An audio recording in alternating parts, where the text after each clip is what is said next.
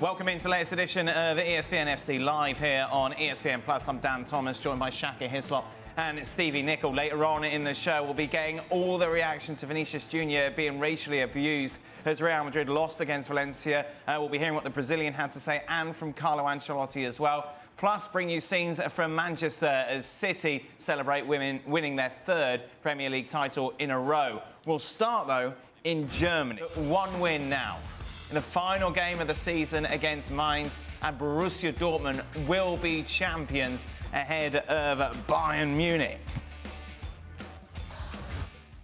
Edin, your overview of what must have been inside your mind a very emotional win.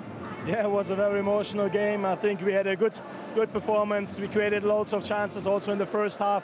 It was different uh, when, when after the red card, uh, but I think we had a, a very good performance uh, away from home, and it was a very deserved win tonight. Is it harder for this team, with all the pressure on it, to go against 10 men after what happened against Stuttgart? Do you think that switched into a mind at all? I don't know. Uh, of course, we've been talking about it at halftime, what we have to do better than we did uh, in the recent game against 10 men when we played in Stuttgart. So, and, and, and if you see the reaction in the second half, uh, we, we, we, always find the width. We played with two, three touches, could always find our, um, our fullbacks. And that means if we find our fullbacks very quick, they have to sprint. And if they have to sprint, they get tired. And if they get tired, we're going to open spaces for us to create chances. And this is what worked out really well. And I think um, we, we, we, we, played it really good um, under all the circumstances, and we are really happy with the result. And when those spaces opened up, there was Sebastien Haller, who let's let's remind ourselves the journey that he has been on. How do you put that into words? It's a miracle. Basically, it's a miracle. Um, I said every day that Seb is with us is a gift. Uh, we've been missing him for such a long time. Um, everybody was talking about him as a number nine, but as a, as a person, he is so much important for our team, for our dressing room. And we are so happy that he is tonight our match winner. And he has to do it one more time, and then we're going to celebrate. So, one more game, one more step. What's it going to take in this next week? I guess you will be switching off from any media at all.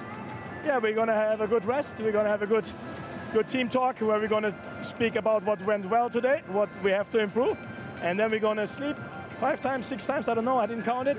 And then we're going to wake up and then we're going to show that we are ready to fight until the end. And then hopefully by the end of next week, we are celebrating with our fans. Edin Terzic has just described you as a miracle to us, given the journey that you've been on. How do you describe getting to this point now where you are one game away from being Deutsche Meister? If someone would have told me that uh, six months ago, I wouldn't believe. But uh, let's say it's uh, destiny. I don't know.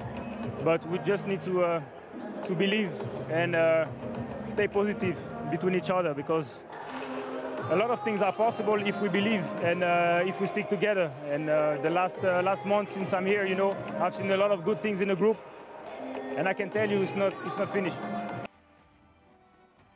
Just a brilliant story no matter who you support, you can't but fall in love with the Sebastien Haller timeline over the last 12 months. To come back from testicular cancer, to then score two, two goals mm. that's going to help Borussia Dortmund cross the line. Brilliant. Yeah, I mean, everything about this season from a Dortmund perspective um, just seemed seemed unreal for, for, for so long um, until they put together that run. But Sebastien Haller personified that. Given the kind of um, fanfare maybe around his signing in the summer. Could he take the place of Erling Haaland? And then to, to be diagnosed with, with cancer as he has. And you, it, regardless, once you are diagnosed with cancer, once you have to undergo that treatment, nobody's quite sure how you're going to come back, when you're going to come back, if you're going to come back. For Sebastien Haller to come back as he did. If I was a Borussia Dortmund fan, Stevie, I think I'd have had to go for a long walk in that first half because it's so stressful yeah. watching them because you think, oh no, oh no, they're not going to blow it again, are they? No, and, and it, it actually is, but whether it's the fans or whether it's Sebastien Haller's teammates, they've got to be glad that he's playing number nine, he's the centre forward. Yep. Because if there's one man that's not going to be worried about the pressure of winning a title, it's him. And you see it in the way he takes the two goals. Yep. There wasn't a camera guy on the field. And you have to think because of what he's been through, it's like, Do you think I really care that we're under any sort of pressure to win a football league? I don't care.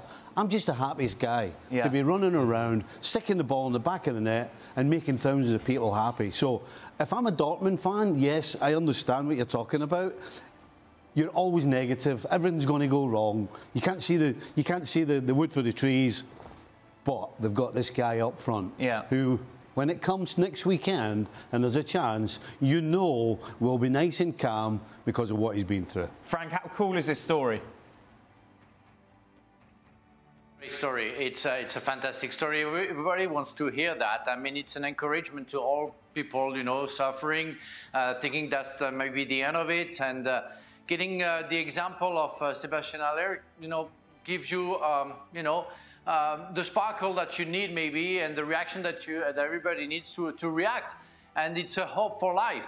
Uh, and I, I, agree with Stevie after, after, what he says you know uh, every, everything is easy. Everything, everything is a pleasure now for him. So and I can see the second goal he doesn't stress you know he goes slowly make sure he put the ball in the net and everything's right because it's only fun. It's only a prolongation of something that he never expected and um, we have to be grateful to, to, uh, to, to, Sebastien Haller, what he shows to the world, and uh, the stamina that he has, uh, and, uh, and um, hopefully the, the, the rest of his fantastic life that he can have. On the final day of the season, they are champions. The bookies, no surprise, have them as big favourites. 9 to 1 on.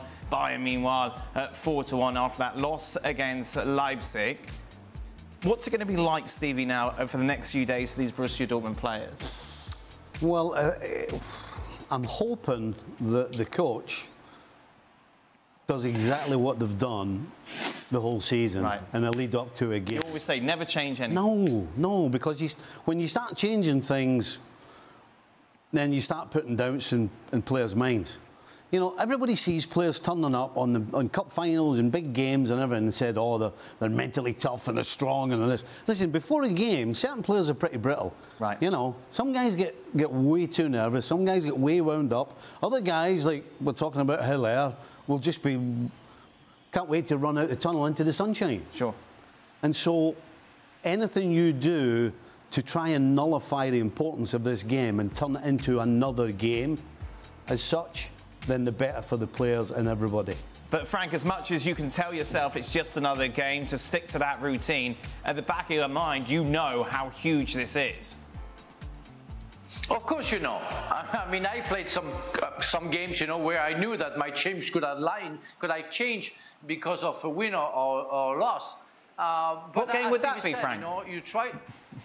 Excuse me? what game would that be?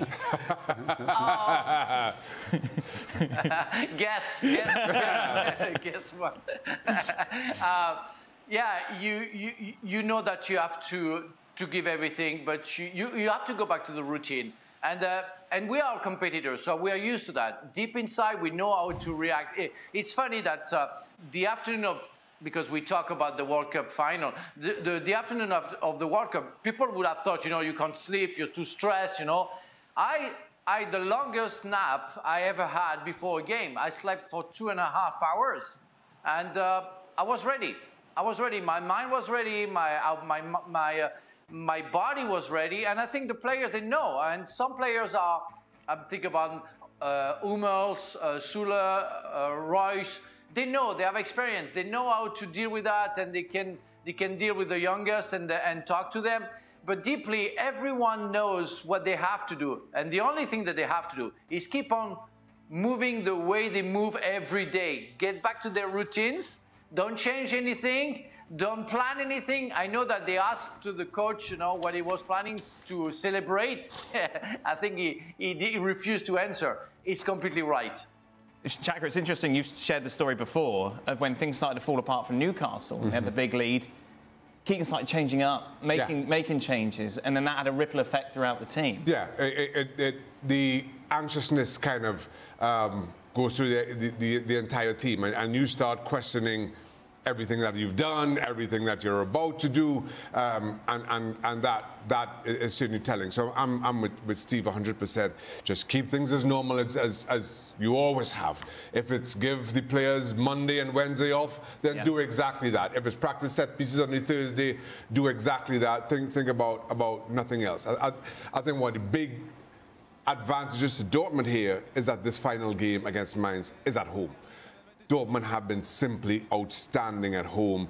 They have been 100% since, since before the World Cup. Um, that is, is a huge boost. And I think that also, because now you're in a normal setting, one that you're very familiar with, that also helps to ease the nerves and the anxiousness. It's a shame Craig's not here. He told the perfect story the other night yes, on extra yeah, time. Yeah. Where Celtic were going for the league title. That's the first time anyone's ever said that, by the way. What? It's a shame Craig's not. Aye. Aye. and, and, they, and, they, they, and they could have won it. They could have won it sec- two games before the end and didn't. Yeah. And on the Monday, they realised that every Tuesday they used to go to the pub as a team. Yeah. And they weren't going to do it and they realised that you know what we need to we need to do what we always do. Sure. And so they did. They went to the pub on the Tuesday before the Saturday, got drunk. Everybody in a Celtic Celtic fan was was telling me go home and stop drinking, and you got to win at the weekend. But, but it worked. It paid off for them because it settled them all down. They had a few beers. They came in on Wednesday. They trained normally. All the tension had gone. Right. All the tension just went and they end up winning the league on the Saturday. A couple of steins then on a Tuesday night if you're in Absolutely, Dortmund. no point. If you if that's what you normally do, you do that. Frank, how difficult is it though to shut yourself off from all the outside noise? Because you know that's what everyone in Dortmund is going to be talking about between now and that match. You cannot avoid, you know, people talking, and you cannot avoid hearing what they're going to say. But um, again, it's part of your life, and you have to live with that, and you have to be ready for that. At the end of the day, it's for the you know, you're not talking about a game that you have to win, otherwise you're going to be relegated. It's a game that you have to win to, to get champion, and uh, that should bring, you know, something special into your body, into your brain, and uh, people can talk about whatever you, what you, whatever they want. Uh, but you know what you have to do. You're not going to stay in the corner. I agree with Stevie. Go to the pub if you used to go to the pub. Do what you have to do. And if people are getting nice to you or saying, oh, uh, you have to win. Well, just say, shut up, you know, we're going to do what we have to do. We'll see. Shut up, buy me a beer. shut up. That's enough of that. Yeah, yeah, yeah. Thank you very much for watching ESPN FC on YouTube. For more highlights, analysis, and exclusive content, be sure to subscribe.